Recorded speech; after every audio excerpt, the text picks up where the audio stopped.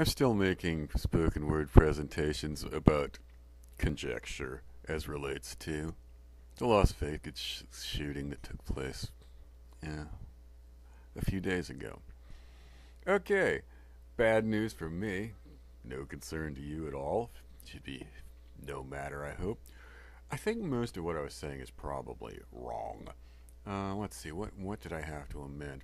I kept saying I, I thought they were they were speaking of a what the shooter had a wife. It was a girlfriend, and I mean I think sorry sorry about that. It was a girlfriend, not wife. That I was I was conjecturing about.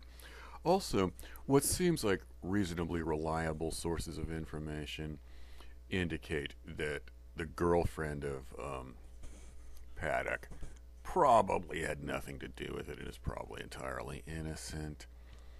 There was the talk of what type of consp- if it was a conspiracy and what type. Now, because I would, my theory was at first, oh, the the girlfriend, cherchez la femme. I always wanted to say that it's a popular French phrase from the 1960s and I just got a chance to use it. That's pro- she's probably not in it. It's still possible that there was a mystery person grooming him to carry off the act. It's still in play that he was some type of patsy. There's still on the. Uh, I'm still seeing uh, on the internet videos and articles and you know print articles claiming witnesses saw shooters in the crowd and that um, you know they saw people shot by persons other than Paddock at the con- at the country western concert. There's several reports of that, and I can't verify a fucking scintilla of that shit. But I'm allowed to talk about it, okay? I just like to present my side of the world from my little armchair somewhere in the weeds. Nothing matters.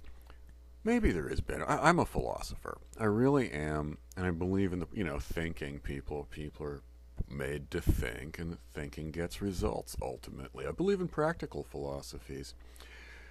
You know, I have a very diverse view of what philosophy is.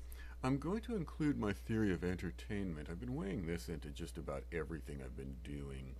Entertainment value may simply be, it may be all you need. Another view is that, that the same, the, pr- the process of thinking, supposing, conjecturing, theorizing, trial, performing trial and error, primitive science at home. Oh, people may learn from it. An individual may actually. I do. I am driven by the idea that a, a theory I hatch could get some great results. At times, I feel the fool, like that maybe like the treasure map thing. It's like the treasure map you buy from the back of a you know comic book in the 1960s, and then you look for your treasure and don't find it. Uh, I'm one of those types in some regards. I'm a bit of a conspiracy buff.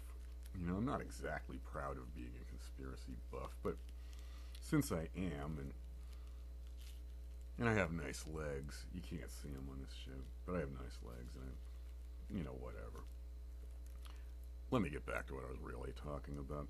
I was talking about the Paddock uh, shooting in Vegas uh, earlier in the week.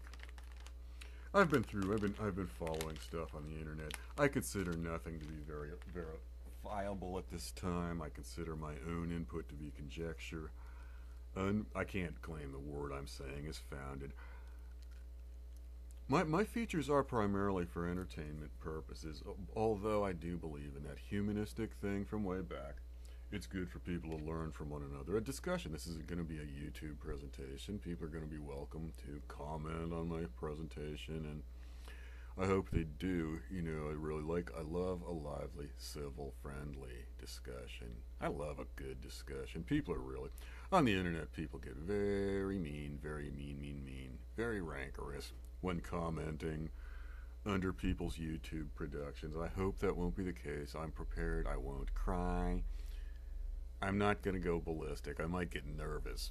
I'll get angry for certain, but I won't do anything rash. When people say horrible things about me, if they say I'm equivocating, it's true. I'm, I'm doing that all over the place. I'm mixing.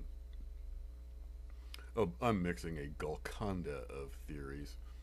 I've uh, uh, so far I've I've added in just for just for thought, the Kennedy assassinations, both of them, you know, JFK and RFK.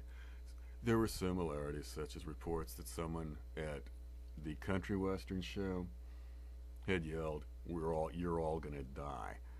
Uh, there was a verbal thing, and with the RFK assassination, which young people said in the street in front of where the shooting took place, "We got him." I forget what was said, but there, there was quoted to be an outburst, uh, you know, an incident indicating conspiracy or a weird coincidence, or or people were lying. Who the hell knows? It might have been a prank. I was thinking earlier regarding if it's true that somebody in the crowd of concert goers had in fact uh, announced that we're said we're all going to die. I think I've heard people say exactly the same thing before drinking a case of beer. I mean, it may be just a common, you know, joke, a camper, you know, a camp gag. You know, it's something people say when they're exuberant over their beer and their country western music. So I'm going to discount that, and I may be wrong again.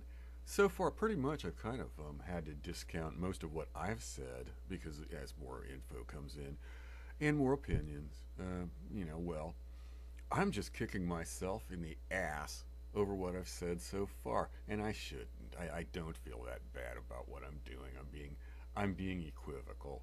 I, am a thought pro, pro, I'm a thought provoking ass motherfucker in Pittsburgh. That's what I am. Thanks for listening, friends.